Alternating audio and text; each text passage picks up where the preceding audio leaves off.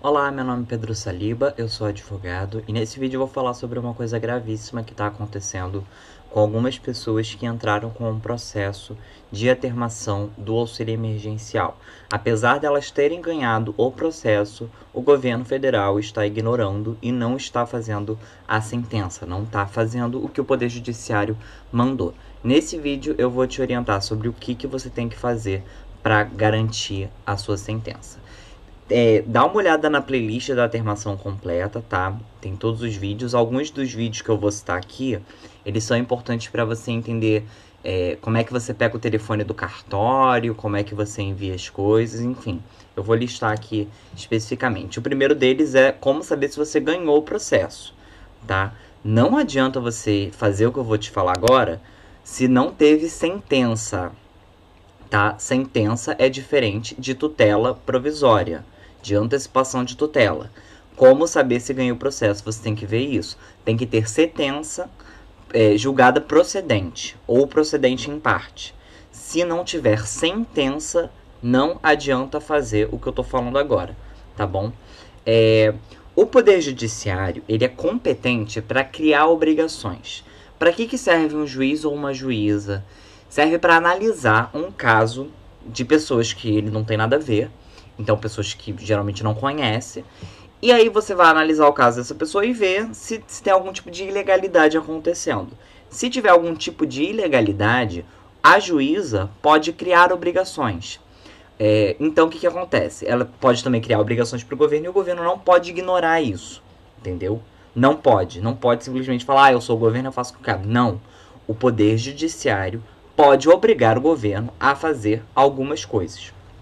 Quando não faz, tem que abrir uma nova fase no processo. Essa nova fase a gente chama de cumprimento de sentença, tá? Isso está nos artigos 534 a 537 do Código de Processo Civil, tá? É cumprimento de sentença contra a fazenda pública.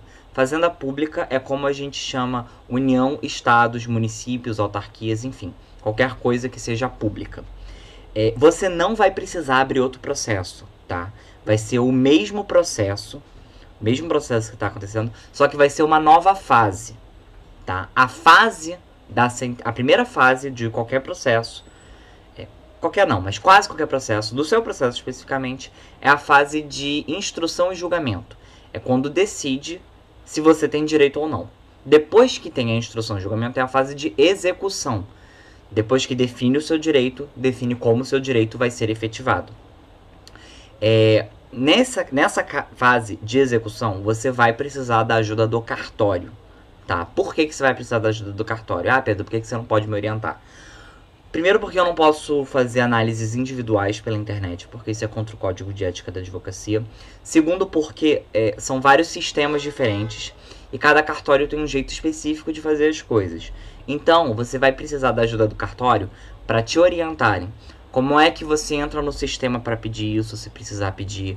Ou então, alguns cartórios você vai precisar pedir isso por e-mail, outros você vai precisar ligar, enfim. Você vai precisar da ajuda do cartório. E para você tirar dúvida, você vai procurar esse vídeo daqui, ele tá na descrição, tá? Tudo que eu vou falar aqui está na descrição com os links. Uma coisa super importante que você precisa saber o cartório vai te ajudar, mas você precisa saber. Você tem que entender qual foi a decisão da juíza ou do juiz no seu caso específico. Podem ser duas decisões principais, tá? Eu estou recebendo muito comentário com esses dois tipos de decisão: pagamento de quantia certa ou obrigação de fazer. É importante você saber isso porque são artigos diferentes do Código de Processo Civil, tá? Esse daqui, se eu não me engano, é o 534, 535, esse aqui, enfim, são artigos diferentes desses artigos aqui que eu falei, são artigos diferentes para cada uma dessas. Pagamento de quantia certa é quando a sentença diz tem que pagar tantos reais, tem que pagar 3 mil reais para fulano, tem que pagar 3 mil reais para ciclano. Isso é pagamento de quantia certa. O outro, obrigação de fazer, é quando o juiz ou a juíza obriga o governo a fazer alguma coisa. Ou seja, é, que adicione a pessoa nos beneficiários do auxílio emergencial, que coloque, atualize o cadastro da pessoa no cadastro único, que faça não sei o que, entendeu? Pagamento de quantia certa é diferente de obrigação de fazer. É, o cartório vai poder te ajudar, tá? Como eu falei antes, mas é importante você saber que tem essas diferenças. Inclusive, é, se por acaso no pagamento de quantia certa ou na obrigação de fazer, o juiz ou a juíza definir que tem que pagar multa, muitas sentenças, boas sentenças inclusive, definem que se não fizer até a data tal, a partir do dia tal vai pagar uma multa. E eu já recebi muito comentário de pessoas falando: ah, a juíza decidiu que vai pagar multa de 50 reais por dia. É, e não, não pagou há 10 dias. Eu vou receber esses 500 reais? Vai, você vai receber esses 500 reais porque, porque você tem que receber. Definiu multa, não fez, tem que pagar. Então, qualquer coisa também, quando você falar com o cartório, fala isso, fala que teve multa, fala se não teve multa, e se não tiver multa, pergunta se você pode pedir para ter uma multa para definir isso, porque isso é importante, porque você está sem receber há muito tempo, então é importante que tenha multa. É, como eu falei, você vai procurar o cartório e você vai dizer o que aconteceu e você vai falar que você deseja o cumprimento da sentença. Daqui a pouco eu vou falar para vocês sobre o e-mail. Na descrição tá o modelo, mas espera antes de mandar e-mail, porque eu vou dar uma dica antes. Mas tô falando isso daqui, esse slide, é porque tem que botar na sua cabeça que você vai pedir o cumprimento da sentença. Por que, que é importante falar que você quer o cumprimento da sentença? Porque quando você fala que você quer o cumprimento da sentença, você está usando um termo técnico, um termo jurídico. Então, quando você fala isso no cartório, você avisa para o cartório que, olha, eu sei do que eu estou falando. Eu entendo da lei. Assim, eu não sou advogado ou advogada, mas eu sou alfabetizado, eu li a lei. Inclusive, o Código de Processo Civil também vai estar na descrição se você quiser dar uma olhada. Eu recomendo fortemente, porque assim você mostra que sabe do que está falando. É, você vai mandar um e-mail para o cartório, o modelo está na descrição, mas antes de mandar o e-mail, você vai abrir um protocolo na AGU. A AGU é a Advocacia Geral da União. Essa Advocacia Geral da União é um advogado ou uma advogada do governo, no caso do governo federal, da União. É, você vai abrir um protocolo para quê? Só para avisar tá? E aí você vai abrir o protocolo na plataforma fala.br, que vai estar tá na descrição. Você vai clicar aqui em solicitação. Você pode clicar ou em solicitação ou em reclamação, mas eu recomendo mais a solicitação. Você vai clicar em solicitação, aí vai pedir para você entrar no seu cadastro. Essa plataforma fala.br, falar um pouquinho antes dela, ela é uma plataforma integrada de ouvidoria e acesso à informação. Ela serve para vários órgãos do governo e ela é muito útil para várias coisas. Uma dessas coisas é isso que eu vou falar aqui para vocês. Você vai entrar no seu login. Você pode fazer um login FalaBR ou login gov.br. Se você tem é, cadastro no aplicativo do INSS, por exemplo, você pode usar o mesmo, o mesmo login e senha. Você clica aqui, ou então se você não tem, você cria uma conta, tá? É, Aí você vai colocar o seu CPF, enfim, vai colocar suas informações normal. E aí depois vai ter essa página daqui, tá?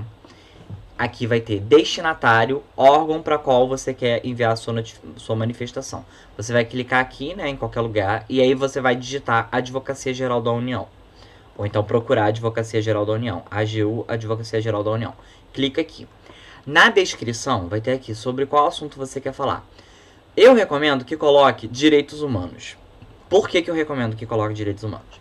Porque a Advocacia Geral da União é muito grande. É, tem vários setores diferentes. Tem um que é de auxílio emergencial. Mas eu recomendo que coloque na de direitos humanos. Por quê? Porque é um caso de direitos humanos. Primeiro de tudo, não é não é à toa, é um caso de direitos humanos, porque você recebe esse dinheiro para direitos fundamentais. Quais são esses direitos fundamentais? Alimentação, moradia e saúde, o básico o básico do básico. Para você existir, é isso. E tem urgência. Manda para direitos humanos porque geralmente o pessoal do direitos humanos, do, do, do setor de direitos humanos, vai ser mais atencioso do que o pessoal do auxílio. Não porque as pessoas dos direitos humanos são melhores do que a do auxílio emergencial. Não, mas os direitos humanos devem estar recebendo menos coisa. Então, assim, para ter uma chance maior, porque se não for no caso deles, eles vão enviar para o setor de auxílio emergencial, tá? É, eles fazem isso. É, mas é bom, eu recomendo enviar para os direitos humanos. Se você quiser garantir, você envia para os direitos humanos e envia para o auxílio. Você pode enviar quantas notificações quiser. Só não envia 10 porque vai ser um saco, entendeu? Vão, é um saco, não faça isso. Envia no máximo duas. para os direitos humanos e para o auxílio. E aí você vai, na descrição, eu coloquei esse texto aqui, tá? Gostaria, por meio deste, que sejam tomadas providências quanto ao processo do auxílio emergencial número tal. E aí aqui você vai colocar o número do seu processo. Não é o número do protocolo do, do da atermação, é o número do processo, tá? Ele segue um padrão, aí vai ter sete, sete números, dígito, dois números, ponto, o ano, ponto não sei o que, ponto não sei o que lá, tá? É um, é um número grande. É... E aí aqui, botei, apesar de haver condenação em trânsito em julgado, até hoje a União não se manifestou para o cumprimento da sentença. Você vai copiar e colar isso. Canal de entrada internet. É, esse daqui você pode preencher, tá? O, o estado, o município, mas não é obrigatório, só é obrigatório que tem esse asterisco aqui envia. Quando você enviar, você vai anotar o número desse protocolo. Por que, que você vai anotar o número desse protocolo? Porque eh, eu não tenho a página do protocolo para mostrar para vocês, porque eu não enviei isso daqui para não ficar fazendo protocolo à toa. Mas você vai anotar o número do protocolo para enviar no e-mail do cartório, tá? Quando você na descrição também tem o e-mail do cartório, tem o, o modelo do e-mail que você vai enviar para o cartório. É muito parecido com esse. Mas o e-mail do cartório você vai achar aqui, olha. Se você não tiver o e-mail do cartório, você tem que ver esse vídeo. Porque nesse vídeo eu ensino como é que você acha o e-mail do cartório, o telefone do cartório. Tem que mandar por e-mail por quê? Porque por e-mail fica, fica por escrito, tá? Tem que ter tudo por escrito. É mais importante ter as coisas por escrito. Você pode mandar também por WhatsApp, tem alguns cartórios que estão atendendo por WhatsApp. Pode também ligar, é legal ligar. Mas enfim, eu recomendo mais por e-mail, porque é formalizado. É, outra coisa, você continua acompanhando o processo. Manda esse e-mail logo, assim, o quanto antes é melhor, mas o, o judiciário está de recesso. Inclusive, a, a Advocacia Geral da União está de recesso, a maioria das pessoas. Então, talvez a partir do dia 4 de janeiro que volte. Que é daqui a pouco, né? Eu estou postando esse vídeo no dia 30. Mas só para vocês saberem que está de recesso, inclusive o judiciário. Obrigado por terem assistido. Ficou um vídeo um pouco longo, mas é importante detalhar tudo. Tem que continuar acompanhando o processo, tá? Qualquer coisa, comenta aqui embaixo.